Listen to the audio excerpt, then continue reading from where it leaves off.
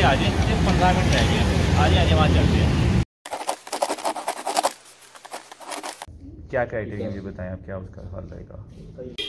हाँ भाई भाई गोरा हाथी ले आयो। उसका कागजात आ गए। आ जाओ फटाफट यार जल्दी आ जाओ। ये हम पहुँच गए यूफोन के ऑफ़िस और अभी बाकी सिलसिले अंदर जाके करने हैं हमने तो चल के देख लीजिए देखिए।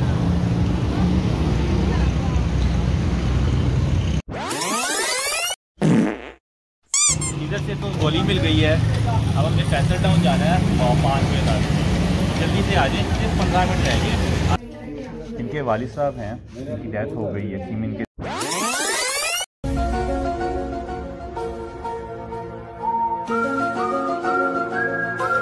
आजे आजे वहाँ चलते हैं।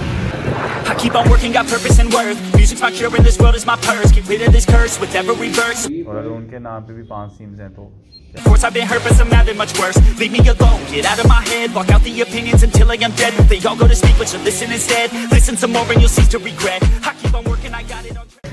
नहीं जी हमें बताया गया कि फैसल टाउन में भाईजान जी फैसल टाउन में हम पहुँच गए हैं यहाँ पे चेक करते हैं क्या सीन है The destination is on your left.